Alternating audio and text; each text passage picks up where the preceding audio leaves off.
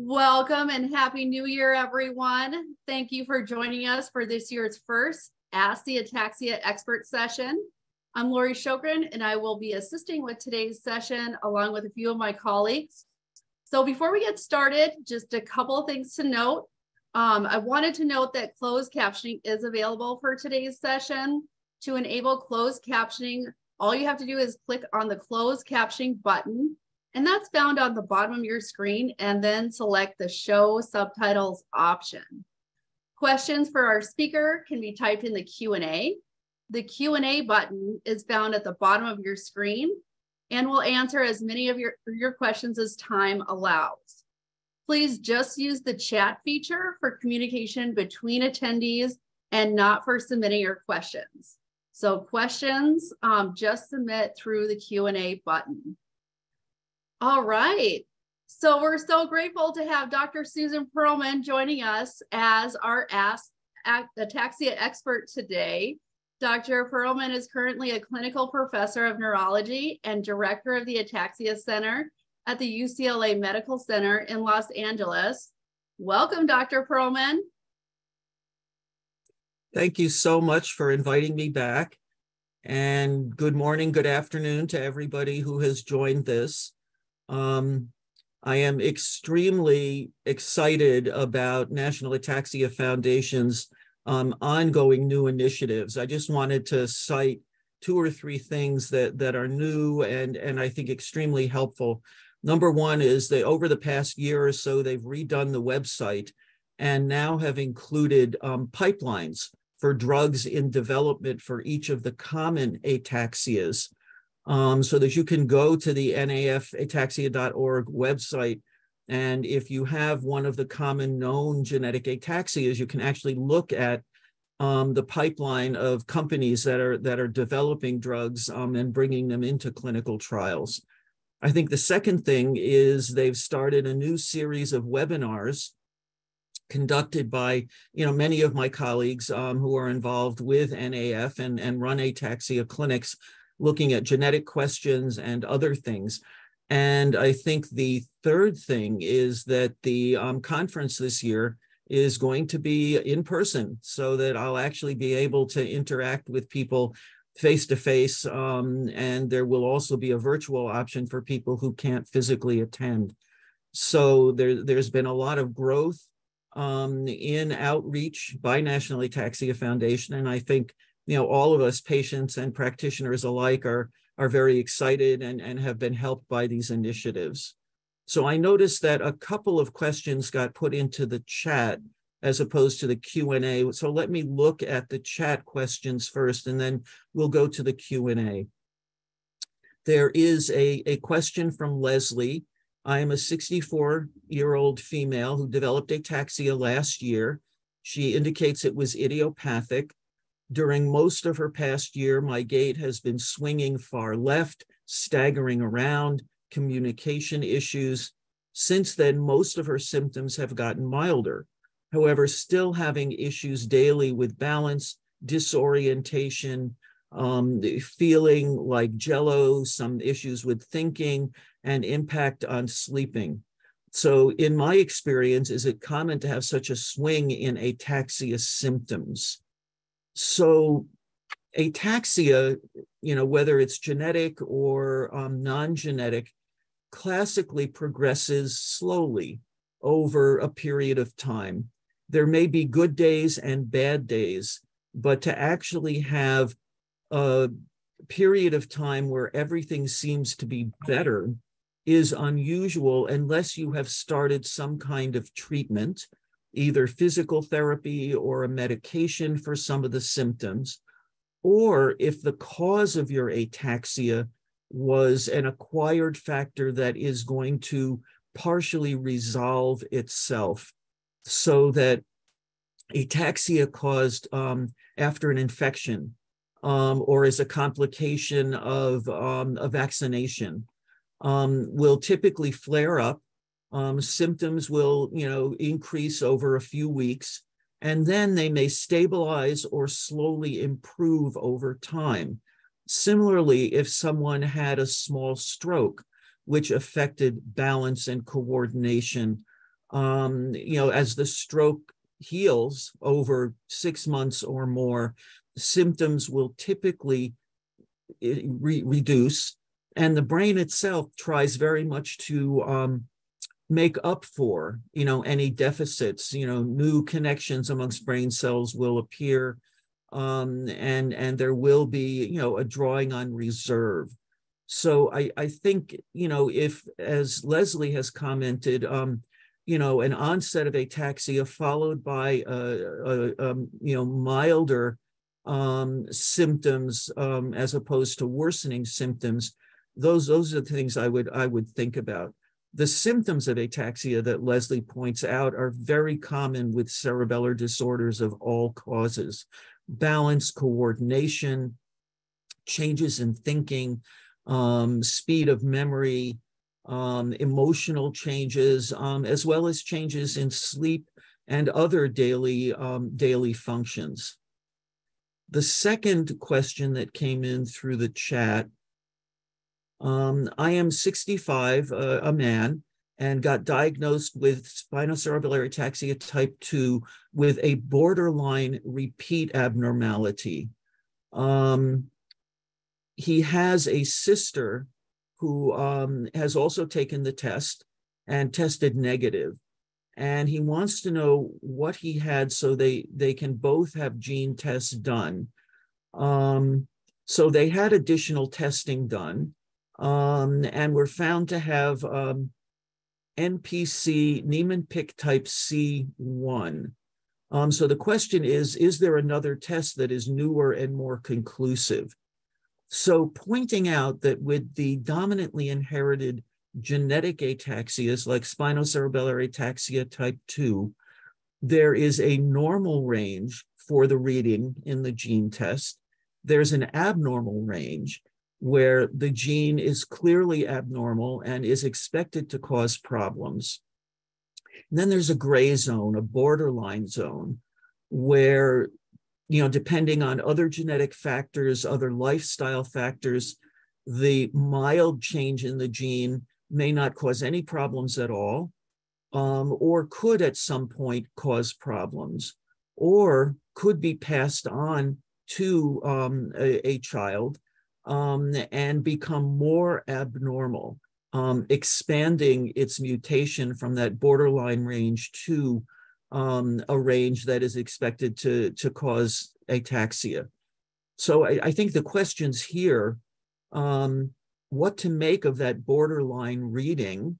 Is this a risk for that individual's children? Could they have inherited that borderline gene and it expanded to a, a more disease causing ataxia gene?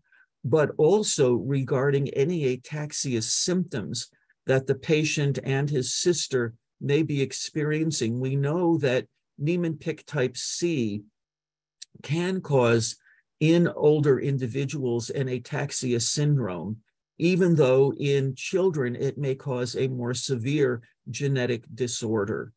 So it sounds like, um, and, and I don't state, the GeneDx testing that was done in 2019 may have been done by whole exome sequencing in order to identify the mutation in Niemann-Pick type C. Um, in which case, is there another newer test that might give more information? So whole exome sequencing um, in the last uh, three to four years since the GeneDx testing was done probably has advanced in being able to identify more genetic factors that could be involved. Um, so people who have had whole exome sequencing um, and may have had nothing unusual turn up or had something turn up that was unclear um, can have that test reanalyzed. They won't have to have new blood drawn, but the DNA that is, um, you know, being stored at GeneDx or other genetic testing facilities can be reanalyzed for newer genetic factors or more clear interpretation of genetic factors that were seen. So I'm now going to go to the Q&A list. And you know, one of the first questions um, is what is my opinion of stem cell therapy? So, work with stem cells has been going on for many years now. Um, initially, um, it was looked at as a possible way to um, replace nerve cells that have been damaged, for instance, in stroke and spinal cord injury. And that research is still going on, and it's not clear that it has been successful. Um, exogenous stem cells, stem cells derived from other sources, when infused into an individual, it's not clear that they can actually go in and replace nerve cells that have been damaged. I think a more um, interesting and potentially more successful approach is going to be treatments that will stimulate your own individual stem cells that are in your brain. They've never developed into brain cells, they're just sitting there as stem cells and can be stimulated to develop into nerve cells, potentially replacing nerve cells that have been damaged either by a genetic factor or um, you know a non-genetic factor. Now, there are companies that are working in stem cell research in ataxia, um, either in non genetic ataxia, as inter- interested in multiple system atrophy, or in genetic ataxia, as has been going on um, by the Steminent company in Taiwan um, and other groups. So the question is infusion of these stem cells do we really expect them to replace missing nerve cells? Or can they be used to stimulate nerve growth factors that will allow your own stem cells to grow back? And I tend to favor that latter um, interpretation, but much more research needs to be done. We're fortunate in that some of the early studies of stem cells in ataxia haven't shown any severe side effects or severe problems, um, potentially have shown some benefit, and we hope to see this moving forward in, in the future.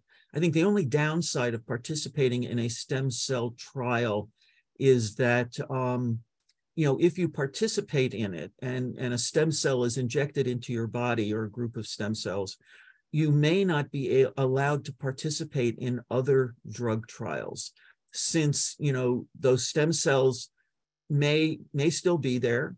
Um, they may not be active but if they're still in your system they could still have an impact that would cloud um, the results of, a, of another trial. So i know that you know when you sign on for a stem cell therapy trial or a gene therapy trial um, you know, the lingering effects of those trials may may um, exclude you from uh, from other trials. Um, then Carolyn has a question. I get dizzy from turning my head. Sometimes I may need to turn it a few times to really experience the dizziness. Is centrally caused dizziness in ataxia with family history always caused during active eye movement or head turning maneuvers. Can centrally caused dizziness occur when eye movement and head turning maneuvers aren't actively occurring? Perhaps from problems with the central vestibular nuclei or from a channelopathy. And I would say yes, that central dizziness, as opposed to inner ear mediated dizziness, can occur without eye movement, without head movement, it'll typically be worsened by those um, things. But dysfunction of the central vestibular nuclei, which are intimately connected with the cerebellum, could generate sensations of dizziness or disequilibrium without any movement at all and are very, very difficult to, to stabilize and treat and sometimes can be more disabling than more, more disabling than the actual balance problem itself. So any ataxia patient who has experienced central disequilibrium, who has some good ideas how to control it, I know the rest of the group would very much want to, to hear about that. Then a question about genetic testing. Is there a way to be tested anonymously? That depends on um, the group that is facilitating your testing, whether it's a um, you know genetic counseling group being ordered by your physician through um, you know a medical institution. Um, I know at my institution, anonymous testing is becoming more and more difficult. Um, you can register under a pseudonym, but you know a fake name but in in the system it will be linked to your medical record number which is linked to your real name so i think the ability to get anonymous truly anonymous testing is becoming harder and harder. On the other hand if you sue genetic testing not through your insurance company but by self-paying through you know um, a, a testing laboratory um, at least your insurance company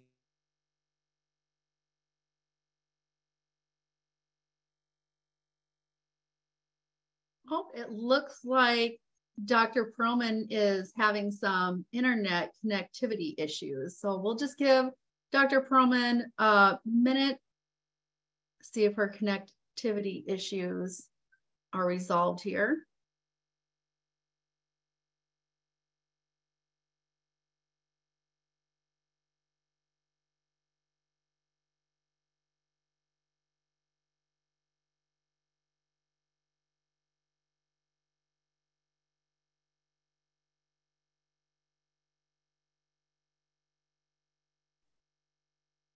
Okay. We got you back now? Yeah, I'm back. I don't know how that happened and I apologized. And I was just expanding on on the need for confidential testing. So I, I don't think I said too much more after I cut out. And I apologize Correct. for that. How do I get tested in Georgia? You know, I think the best way to find out is to go through your genetic counselor or your neurologist um, who can hook you up with a laboratory that can do tests and will be covered by your insurance or at least will be accessible to you if you decide not to use insurance. Now, here are a series of questions about spinocerebellar ataxia type 3. Um, having the SCA3 gene assures either that you will be, let me go back to the top there, either you'll develop the symptoms or not. Um, if you have a mutation in the gene that is in the range that deranges the function of the gene, you will develop symptoms, um, whether earlier in life or later. Um, but a mutation in that gene will, you know, will assure that there will ultimately be symptoms. What are the common mistakes regarding the psychological aspect of SCA3 patients?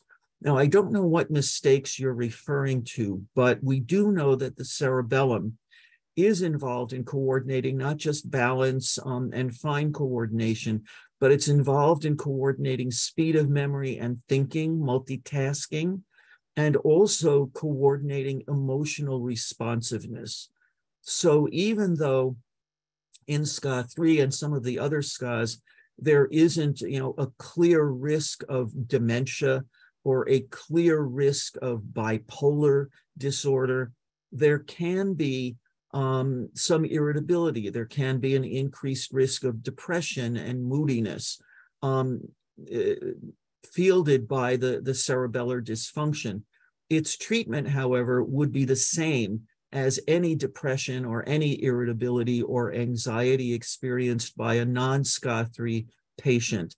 And I think it's important to discuss with your neurologist um, that um, you know that you're having emotional changes um, or or changes in in in memory and thinking so that can be addressed.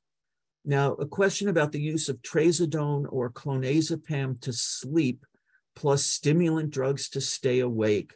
Um, is this a solution to recover the circadian rhythms of a SCA3 patient or is there more to lose on this kind of approach? So you know we often think about non-ataxia individuals out there who take uppers and downers. Um you know downers to go to sleep to calm anxiety uppers to you know increase their you know uh, attention span and and mental focus. Um and we know that many agents that are used as stimulants or as sleep enhancers are what are known as as habit forming or addictive agents. Now, that leaves them open to abuse, which you know we hope is is not going to be the case with somebody who has a medical need for them. But dependence is a problem. Um, using a drug like clonazepam, which is a benzodiazepine in the Valium family, you know, as you continue to use it, it may become less effective. Your body gets used to it. And it's, um, I think it's important to recognize that with many of these, you know, habit forming drugs that your body gets used to, um, they, they may stop working at some point, And as you increase the dose, you may be more prone to side effects. Um, I think trazodone as one of the antidepressant family, which is a, a, strong serotonin drug that is mainly useful for for sleep and and not so much for um, for depression these days, may also have side effects. Um, so that you know these drugs, you know, any sleep enhancing drug should be used carefully um, and and you should you know certainly speak with your prescribing physician about your response to it now using a stimulant drug to wake up if you're trying to wake up from a sleep producing drug maybe you need to modify the sleep producing drug so it doesn't leave you hungover the next day however fatigue in ataxia is very common um, so that many people even with a perfect night's sleep you know will complain of fatigue um, over the course of the day. Um, so there are lots of strategies for this pacing activities. You know, a good exercise program can, you know, sometimes, you know, improve endurance and, and can help with um, energy levels during the day. Um, and some people will use um, stimulant drugs like Ritalin, methylphenidate, and others if there's no other way to um, keep them, you know, awake um, and you know having enough energy to get through their daily activities. And again, this needs to be discussed with your prescribing physician. Pros and cons of testosterone replacement therapy in men, and I would like to say sometimes in women, with SCA3 in elderly age and loss of muscle mass. Now, this has come up with other neuromuscular disorders um, you know, where aging in men may reduce testosterone levels and testosterone replacement, um, you know, may be helpful with muscle mass and also um, strength. Um, and low dose testosterone replacement therapy has been used in women in some conditions as well.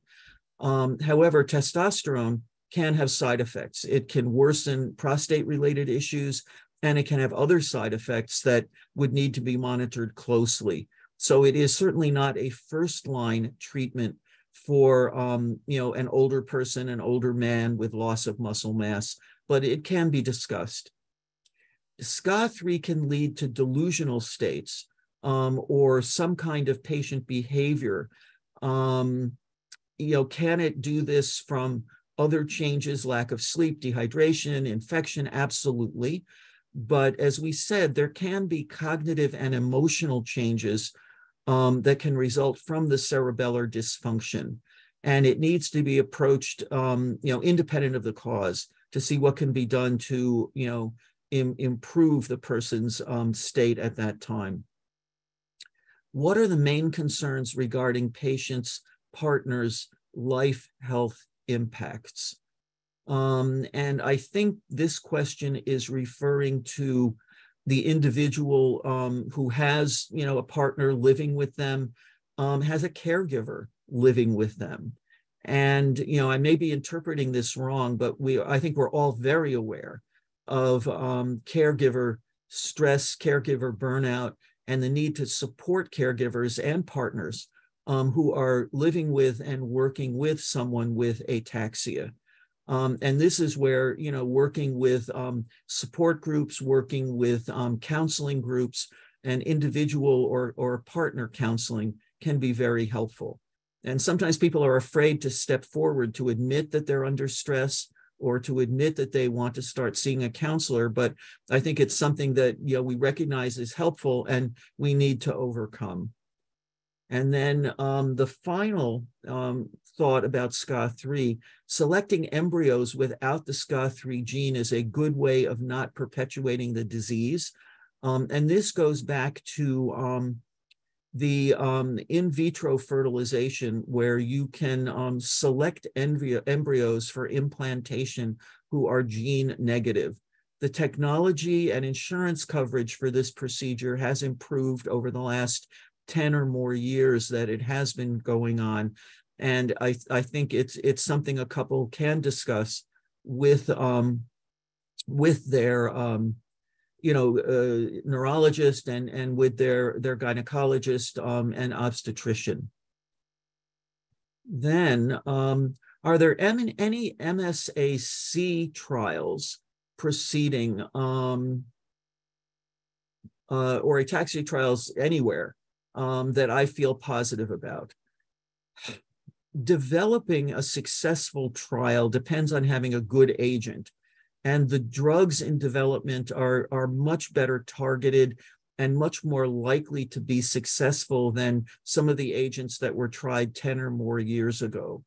So the MSAC pipeline, which is not posted on the um, Ataxia website, but is posted on the MSA Coalition website, um, does uh, talk about anti-inflammatory agents, which have had a couple of trials that haven't been very successful, talks about um, upcoming trials that are in process now that can target the abnormal protein that is building up in MSA. Um, one is the Lundbeck trial, the Amulet study, which I think is close to enrollment. And then one is the Takeda trial, which is just starting to enroll. So I, I think these, you know, should be pursued. Um, and, you know, they will give us more information about possible next steps, you know, for multiple system atrophy. And certainly for the genetic ataxias, there are very active pipelines in development. The only trials that are active currently are the Biohaven trial of troriluzole, which is closed to enrollment and may hopefully be approaching the FDA for approval um, in the next few months. The Biogen study of a gene blocking therapy, as it were, which um, is currently in a phase one low dose trial um, and is going to be reorganizing their protocol because the FDA has some safety concerns, um, as well as the Seelos trial, which is an intravenous um, infusion of trehalose, which is felt to help break up the abnormal protein that is building up in SCA3. Um, and, you know, certainly people, you know, should, um, you know, explore um, any trial options and you can get um, links to um, look at these trials through the NAF website. Um, how can is ataxia diagnosed? um, the primary diagnosis is, you know, symptomatic and examination. If you're having symptoms of imbalance or other things that can be caused by the cerebellum, if your exam shows imbalance or other changes that can be caused by the cerebellum, then a diagnosis of ataxia can be made supported by a brain MRI, which may show thinning or changes in the cerebellum. The diagnosis from that point is going to go into non-genetic causes, um, acquired environmental or lifestyle things that, that could cause ataxia, immune system problems that can cause ataxia, or on the other side, exploring genetic factors. Um, and our ability to make genetic diagnoses is improving, although within patients where we strongly suspect a genetic diagnosis, I think there's easily one third that we have not found the genetic factor yet. Um, and then further on, I see a question from Jeff, uh, who has episodic ataxia type 2, interested in trying 4-aminopyridine or dalfampridine, which is the same medication, 4-aminopyridine was a compounded chemical that has been available for many, many years um, by compounding pharmacists. And dalfampridine is the FDA approved prescription agent, um, which um, can be obtained by prescription and is also used by compounding pharmacists. So they are the same medication. some concern about potential side effects, um, overdose, um, using too much, accidental overdose, and and the risk of a seizure as as um, a, a side effect of of a higher dose is a worry. But um, if you stay within dosing parameters, not exceeding 20 milligrams per day, um, the risk of a seizure is, is minimal. And other side effects are also very, very minimal. I think it would be important if you have had a seizure in the past from any cause or have some kind of risk for a seizure, a brain injury, or having had a stroke, which can lower your seizure threshold, then using a drug that could trigger a seizure should be used very, very carefully. Um, the um, have there been any cases of people taking the recommended medication who have experienced seizures? In my practice, I have not had anybody at any dose who's experienced a seizure, but it is a risk and, and needs to be um, needs to be monitored. Um, can I speak to the new drug going through FDA approval? Um, and I'm not sure what new drug is being referred to. Um, there is one drug that is going through FDA approval now, and that is omaveloxolone, which is a drug aimed at improving mitochondrial function, energy production in Friedreich's ataxia. Um, if it gets approved, and we hope to hear in, in the month of February that, that that will be the case, it will be approved only for use with Friedreich's ataxia.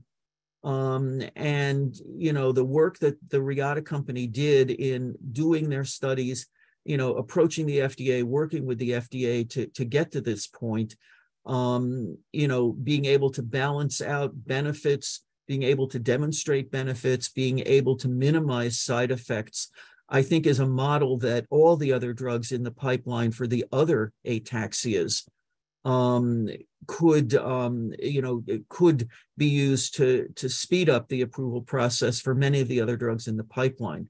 Now, I had mentioned that troriluzole um, is hopefully on uh, on uh, a road to FDA um, approval. That you know they're putting together their final data analyses, getting ready to um, approach the FDA um, for permission to submit a new drug approval application and we're all hoping it will be this year. And I don't have any more information than that. Now, there's a question here from uh, uh, an anonymous attendee about types of pain they might be experiencing with SCA3. Now, typically, ataxia, pure cerebellar ataxia, does not cause pain its involvement of pathways outside the cerebellum that can trigger pain. So with SCA3, there are multiple connections outside the cerebellum and other nerve pathways that could be involved that could cause pain. For instance, SCA3 and possibly some of the other um, genetic and non-genetic ataxias can involve peripheral nerves, causing a peripheral neuropathy, which could be painful um, and can be treated with gabapentin and many other medications used for peripheral nerve pain. Peripheral nerve involvement may cause muscle spasms, and there's a long list of medications used to relieve muscle spasms, whether they occur at night during sleep or occur during the day. Um, and involvement of upper motor neurons, other nerve pathways from the upper brain, may cause spasms as well that can be treated with um, baclofen, tizanidine, um, and, and other agents and other treatment techniques. The basal ganglia um, are a separate movement area that um, is involved in Parkinson's disease, for instance. And in some of the ataxias, um, especially the genetic ataxias, um, and MSA, the basal ganglia may have problems functioning and may cause a kind of muscle function called dystonia, um, which can be painful and can be treated again with a variety of medications. um, that um, and and can also be treated by Botox injections. So I think you know pain is something for, independent of its cause, genetic, non-genetic, ataxia related, non-ataxia related, that can be directly treated with agents other than um, uh, opiates or, or narcotics. And, and I think we need to look at those, you know, to avoid use or overuse of narcotic agents. Now, um, I'm going to kind of scroll down to the middle of the questions um, since we're, you know, a little over halfway through our hour. And I apologize, you know, that, you know, many of these questions we won't be able to get to, and they are excellent questions, all of them. Um, and I think, you know, NAF will hopefully um, get some kind of question answer chat thing available so that all of the ataxia docs who participate in webinars can be available um, to put comments in um, about you know many of these wonderful questions that that are being um, being uh, brought up. Now here's one from Anne. Um, it is known in sporadic ataxia for your legs to jump and twitch. Um, and, and this can happen with genetic ataxia as well. I do take medications, but it's moving into my arm and getting worse. It's not a pain, but it's a crawling feeling.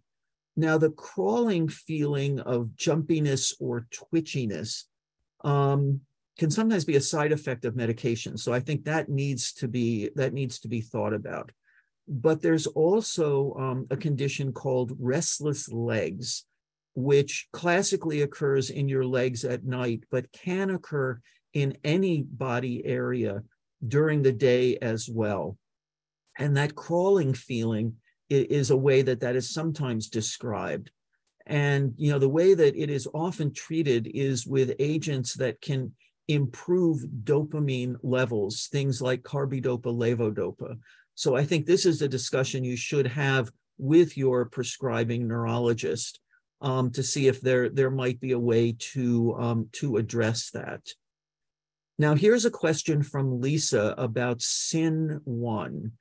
Um, that you know she suddenly um, collapsed last year and developed moderate ataxia and worsening cognitive impairment, has been tested by a number of specialists, and her comprehensive ataxia panel showed a mutation in SYNE1. Um, do you only test relatives if they show symptoms? Now, SYNE1 is a recessive disorder. It requires a mutation in both copies of the gene. Um, it can come on later in life, as opposed to other recessive disorders that are typically presenting early in life. Um, there are many changes in the SYNE1 gene that are known to disable the gene. And there are other changes that may appear on genetic testing that it's not known if they're going to disable the gene or not. Um, and it, it is coming up more and more on comprehensive ataxia testing. So the question about testing relatives. Um, if a relative um, is in the line of inheritance of having inherited this gene. Um, certainly, a sibling who could have inherited, um, you know, the same two bad copies of the gene that that Lisa did. Um, you know, they can be tested pre-symptomatically as long as they're age 18 or older. Um, given that there's no treatment yet for SYNE1, sometimes early testing to see if you're going to develop it may, may not be helpful. It's not going to open up any treatments at this point in time. But other people who not are in a direct line of having inherited both bad genes could certainly be tested for carrier status. Um, since the, the presence of the SYNE1 gene mutation in the general population is relatively common, um, so that carrier testing could also be done. Now, how can my doctor tell if I have ataxia or Parkinson's disease? Um, this is from Roger. And, you know, as his mother had Parkinson's, um, he's decided that Roger may also have Parkinson's. However, the levodopa has not been helpful. So there are some genetic ataxias that can present as Parkinson's. Late onset, milder forms may look like Parkinson's and are, you know, certainly risk genes for Parkinson's like disorders. So you can have Parkinson's symptoms with a mutation in a spinal cerebellar ataxia type 2 with no obvious ataxia.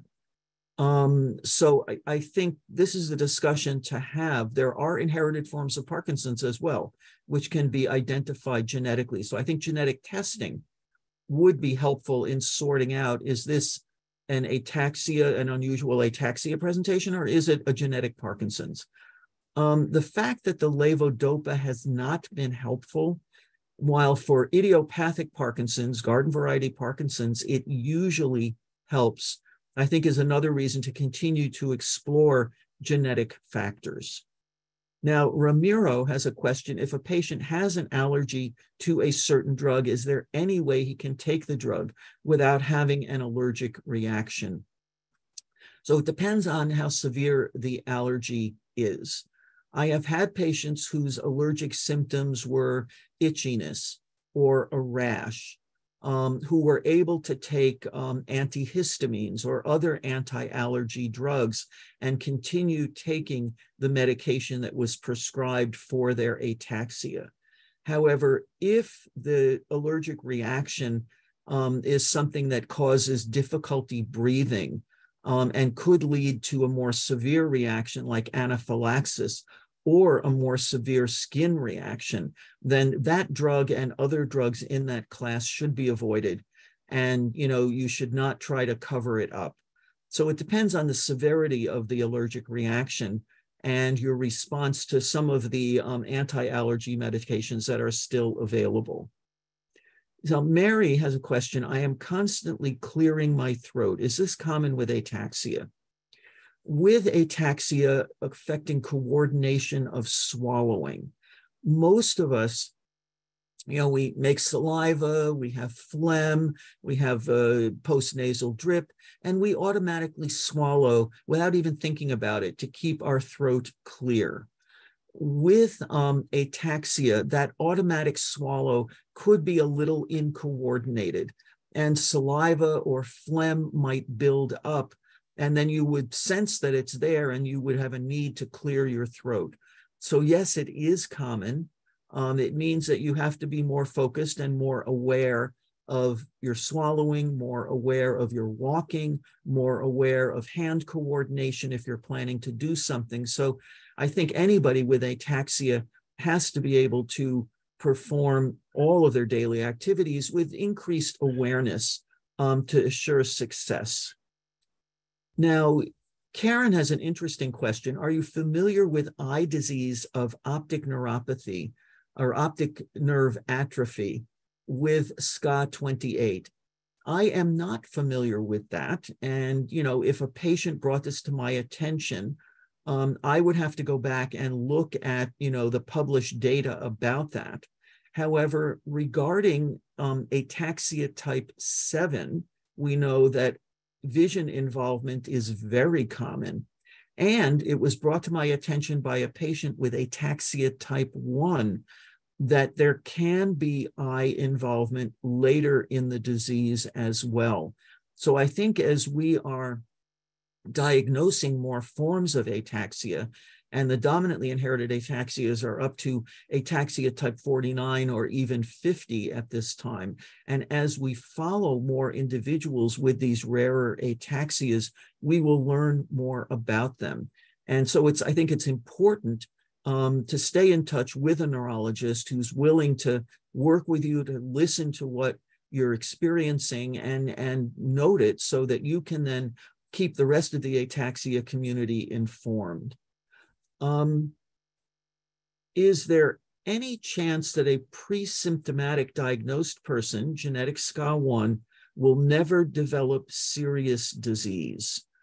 So this, I think, is the problem of, well, not a problem, but just challenge of pre-symptomatic testing. You know you're at risk, you get the gene test, you find out you have the gene. So being able to predict whether you will develop serious disease depends, number one, on the size of your mutation.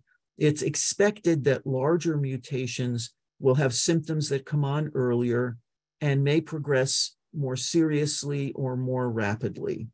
Also, how other family members who have symptomatic disease have, have been doing with their disease is a good guideline about how the disease may run in your family. There may be other genetic factors that are protecting you. Um, there may be anti-aging genes that are protecting you. And also we know that lifestyle can influence how um, the presence of an abnormal gene will present. So I, I think it's important to, you know, follow research, have good health habits, um, and look forward to the development, um, certainly in the genetic ataxias and hopefully in non-genetic ataxia as well, of treatments that can slow progression and turn what could have been a, a very large disabling mutation into behaving like something that is is is smaller and and um, easier to compensate for. Now let me move to you know the bottom third of questions. Um, Luis has an interesting question. Are there any documented benefits on TENS or NEMS, which I presume is a form of neural stimulation in the physical therapy space for muscle recovery?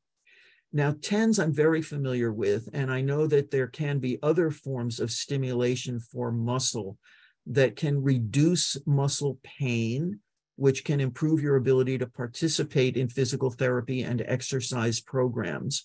And I know that there is muscle stimulation technique that can increase muscle bulk. So if you have muscles that are thinning, either because of you know disuse or non-use in your ataxia, um, or because the muscles are also impacted by your disease, there are techniques to increase muscle bulk, which could technically increase power in muscles as well. So these are rec recognized beneficial strategies for use in physical therapy and, and could absolutely be explored. Um, then um, there's a question from Cynthia, which I think is going to be an important one for many people. I'm a 60 year old woman with DNA confirmed SCA6. My abilities to work um, had left my employer to ask me to go on disability.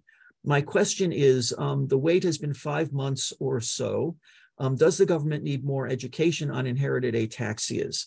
Okay, lots of, of um, factors in this question. Number one, why did your employer ask you to go on disability? Did your work involve you in activities that could be dangerous because of your symptoms of ataxia? Are you involved in activities that you just can't perform anymore um, because of your ataxia?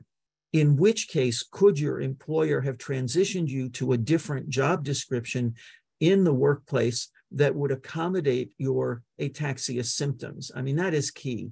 Um, more and more, you know, uh, you know, the, the disability protections for people with a variety of disabilities you know, are, are, are at the forefront. And, and I think that's an important question for your employer. So it sounds like you've already applied for disability. Now, short-term disability, whether it's through, um, you know, a, a private short-term disability policy or a government-sponsored, usually state-sponsored disability, is usually immediate.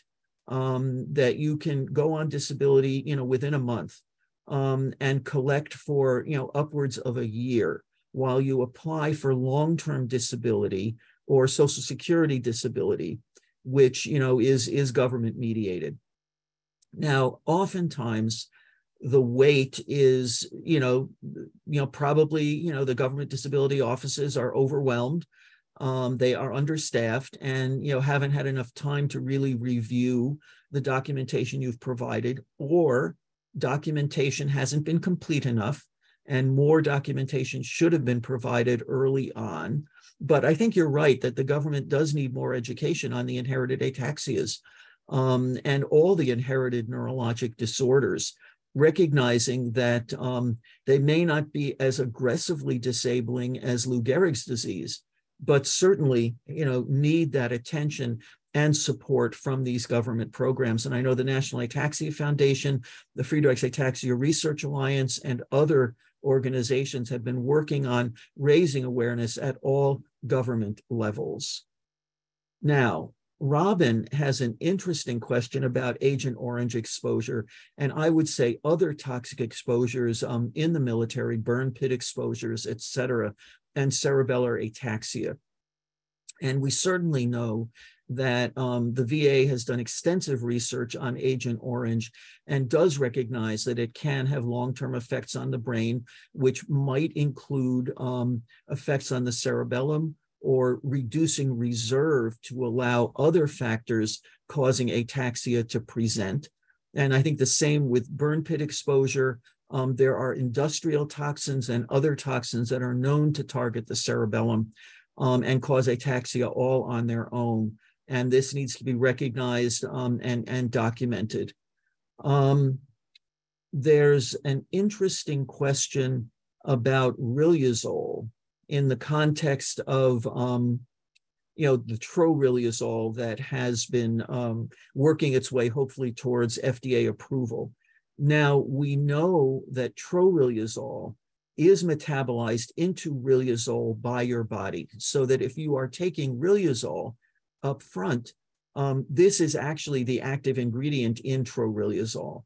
Um, it's handled a little differently. You know, blood levels and brain levels might not be as even uh, or reliable as this newer formulation from Biohaven.